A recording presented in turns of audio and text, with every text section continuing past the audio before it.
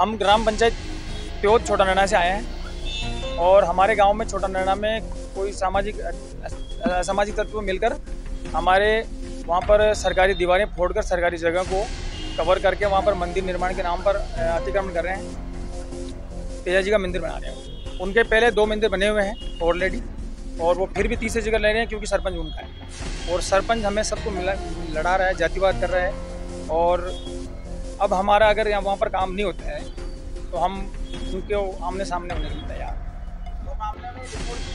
Report दे दी हमने 18 सात 2024 को, हम कलेक्टर महोदय को दिया था तो मैम मैम थी वहाँ पर। जन सुनवा में आए थे हम, और एक सौ इक्यासी पर हमने कॉल किया है। एसडीएम साहब, तहसीलदार और वीडियो साहब को भी हमने अवगत कराया सारी एप्लीकेशन के माध्यम से।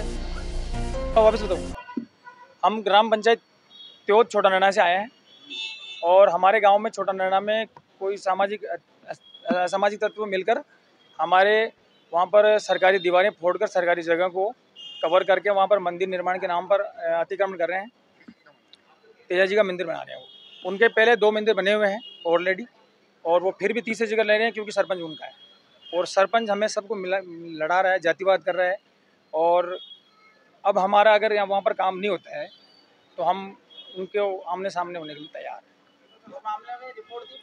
रिपोर्ट दे दी हमने 18 सात 2024 को हम कलेक्टर महोदय को दिया था तो मैम मैम थी वहाँ पर जन सुनवा में आए थे हम और एक सौ इक्यासी पर भी हमने कॉल किया है एसडीएम साहब तहसीलदार और वीडियो साहब को भी हमने अवगत कराया सारी एप्लीकेशन के माध्यम से हमारे पास प्रतिलिपि पड़ी है लेकिन कोई भी काम नहीं हुआ।